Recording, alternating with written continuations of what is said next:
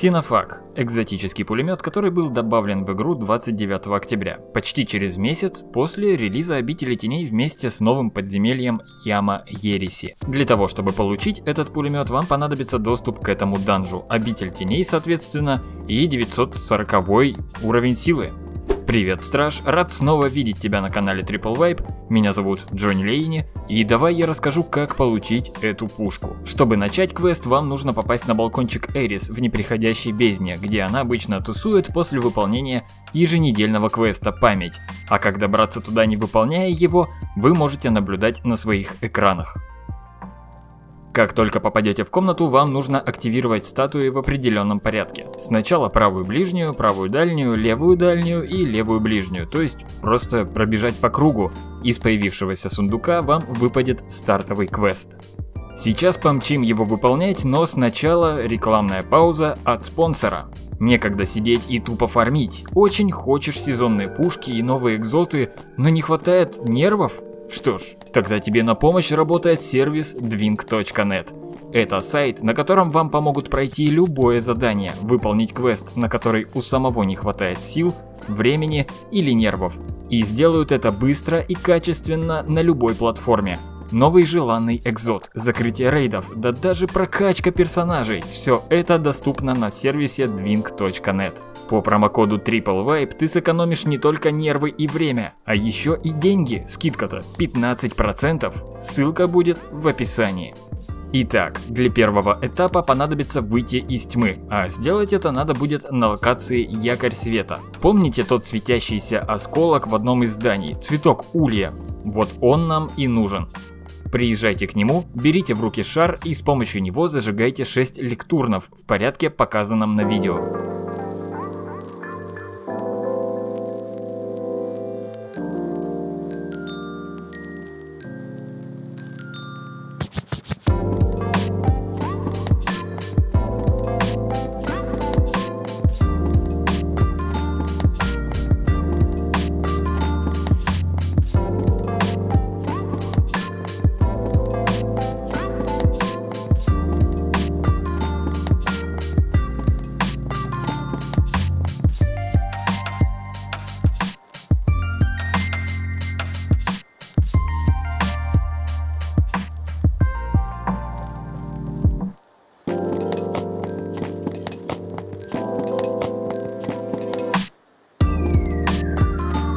Следующем этапе нужно будет навестить все четыре затерянных сектора Луны.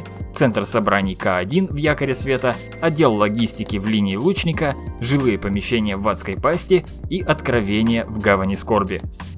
Зачистить их, а на пути к выходу в каждом из них вас встретит небольшая головоломка типа одногранного кубика Рубика. Чтобы завершить ее, нужно, чтобы все 9 символов были такими, как нарисовано над самой загадкой – Конечно, вы можете порешать сами, если хотите, но мы для вас оставим подсказку на экране для каждой из них.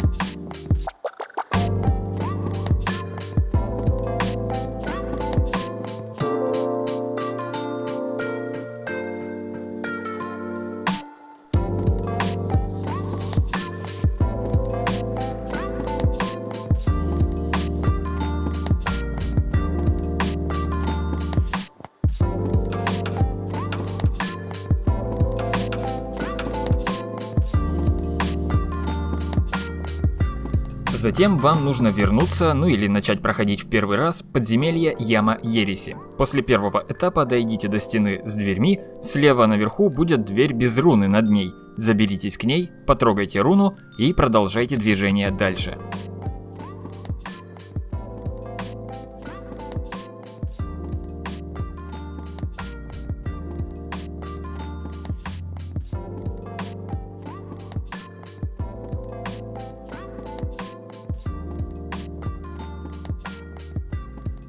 Как только вы окажетесь в тоннелях с ограми, сворачивайте налево и выходите к обрыву, спрыгивайте вниз и где-то в середине выступа опять будут руны. Потрогайте их и снизу поднимется три платформы, на последней опять будет огненный шарик.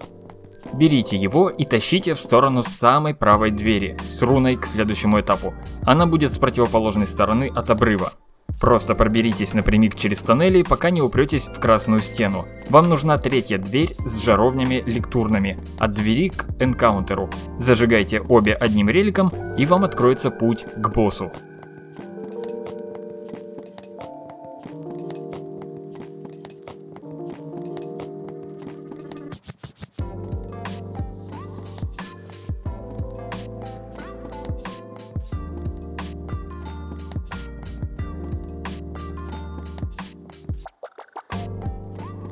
На боссе у вас будет две комнаты, некий предбанник, где колдун предстанет перед вами в первый раз в кучке рабов, и, собственно, сама комната, где вы будете его убивать. В первой по углам у вас будут расположены 4 шарика со стихиями и рунами над ними. Во второй же комнате будет два яруса и знакомый огненный шарик на мостике по центру комнаты. Также в этой комнате расположены 4 лектурна с такими же рунами, что и в первой комнате. Смекаете? Как только вы попадете в первую комнату, обратите внимание на баф, который вам выдали. Он будет соответствовать одной из стихий в углах. Чтобы дамажить босса, вам нужно взять шарик на центре и принести его в лектурн с той руной, которая соответствует вашему бафу.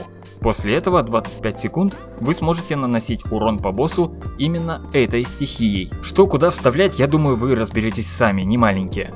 Хотя, ладно, шучу, вот вам подсказка.